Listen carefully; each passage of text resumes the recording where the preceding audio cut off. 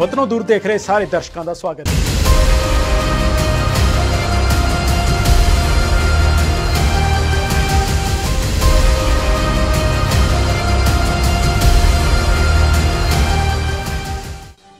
ਤਾਲਿਬਾਨ ਦੀ ਸਰਕਾਰ ਬਣਨ ਦੇ 24 ਘੰਟਿਆਂ ਦੇ ਅੰਦਰ ਚੀਨ ਨੇ ਆਪਣੇ ਖਜ਼ਾਨੇ ਦਾ ਮੂੰਹ ਅਫਗਾਨਿਸਤਾਨ ਵੱਲ ਖੋਲ ਦਿੱਤਾ ਹੈ।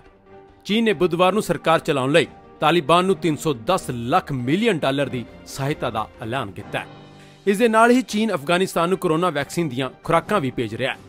ਚੀਨ ਨੇ ਕਿਹਾ ਕਿ ਇਹ ਮਦਦ ਅਰਾਜਕਤਾ ਨੂੰ ਖਤਮ ਕਰਨ ਅਤੇ ਵਿਵਸਥਾ ਨੂੰ ਬਹਾਲ ਕਰਨ ਲਈ ਜ਼ਰੂਰੀ ਹੈ।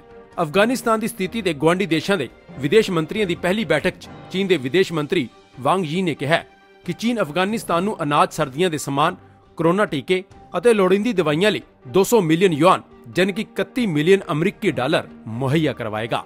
ਪਾਕਿਸਤਾਨ ਦੀ ਪ੍ਰਧਾਨਗੀ ਵਾਲੀ ਮੀਟਿੰਗ ਵਿੱਚ ਈਰਾਨ ਤਜਾਕਿਸਤਾਨ ਤੁਰਕਮੇਨਿਸਤਾਨ ਅਤੇ ਉਜ਼ਬੇਕਿਸਤਾਨ ਦੇ ਵਿਦੇਸ਼ ਮੰਤਰੀ ਸ਼ਾਮਲ ਹੋਏ। ਹਾਲਾਂਕਿ ਪਾਕਿਸਤਾਨ ਦੇ ਵਿਦੇਸ਼ ਮੰਤਰੀ ਸ਼ਾਹ ਮੁਹੰਮਦ ਕੁਰੈਸ਼ੀ ਦੁਆਰਾ ਆਯੋਜਿਤ ਇਸ ਬੈਠਕ ਵਿੱਚ ਰੂਸ ਨੇ ਹਿੱਸਾ ਨਹੀਂ ਲਿਆ।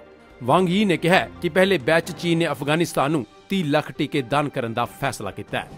ਚੀਨ ਨੇ ਪਹਿਲਾਂ ਹੀ ਅਪੀਲ ਕੀਤੀ ਸੀ ਕਿ ਦੁਨੀਆ ਨੂੰ ਤਾਲਿਬਾਨ ਦੇ ਨਾਲ ਮਿਲ ਕੇ ਕੰਮ ਕਰਨਾ ਚਾਹੀਦਾ ਹੈ। ਇਸ ਕੜੀ ਵਿੱਚ ਵਿੱਤੀ ਸਹਾਇਤਾ ਨੂੰ ਜਾਰੀ ਰੱਖਣਾ ਜ਼ਰੂਰੀ ਹੈ। ਅਫਗਾਨਿਸਤਾਨ ਨੂੰ ਦਿੱਤੀ ਗਈ ਇਹ ਮਦਦ ਸਿਰਫ ਸ਼ੁਰੂਆਤ ਹੈ। ਚੀਨ ਦਾ ਕਹਿਣਾ ਹੈ ਕਿ ਤਾਲਿਬਾਨ ਨੂੰ ਹੁਣ ਅਫਗਾਨਿਸਤਾਨ ਦੀ ਸਥਿਤੀ ਨੂੰ ਆਮ ਕਰਨਾ ਚਾਹੀਦਾ ਹੈ।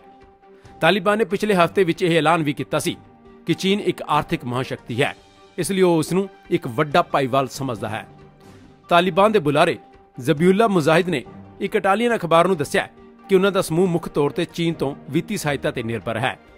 ਹਾਲ ਹੀ ਦੇ ਦਿਨਾਂ ਵਿੱਚ ਅਮਰੀਕਾ ਸਮੇਤ ਪੱਛਮੀ ਦੇਸ਼ਾਂ ਨੇ ਅਫਗਾਨਿਸਤਾਨ ਲਈ ਆਰਥਿਕ ਸਹਾਇਤਾ ਨੂੰ ਸੀਮਿਤ ਕਰ ਦਿੱਤਾ ਹੈ। ਜਿਸ ਤੋਂ ਬਾਅਦ ਤਾਲਿਬਾਨ ਨੂੰ ਸਰਕਾਰ ਚਲਾਉਣ ਲਈ ਆਰਥਿਕ ਸੰਕਟ ਦਾ ਸਾਹਮਣਾ ਕਰਨਾ ਪੈ ਰਿਹਾ ਹੈ। ਅਜਿਹੀ ਸਥਿਤੀ ਵਿੱਚ ਚੀਨ ਨੇ ਸਹਾਇਤਾ ਦਾ ਹੱਥ ਵਧਾਇਆ ਹੈ। ਇਸ ਦੌਰਾਨ ਅਜਿਹੀਆਂ ਖਬਰਾਂ ਵੀ ਆ ਰਹੀਆਂ ਨੇ ਕਿ ਚੀਨ ਤਾਲਿਬਾਨ ਰਾਹੀਂ ਬਗਰਾਮ 에ਅਰ ਬੇਸ ਤੇ ਕਬਜ਼ਾ ਕਰਨ ਦੀ ਕੋਸ਼ਿਸ਼ ਕਰ ਰਿਹਾ ਹੈ। ਅਮਰੀਕਾ ਨੇ ਅਫਗਾਨ ਯੁੱਧ ਦੇ ਦੌਰਾਨ ਲਗਭਗ 20 ਸਾਲਾਂ ਤੱਕ ਇਸ 에ਅਰ ਬੇਸ ਦੀ ਵਰਤੋਂ ਕੀਤੀ ਸੀ।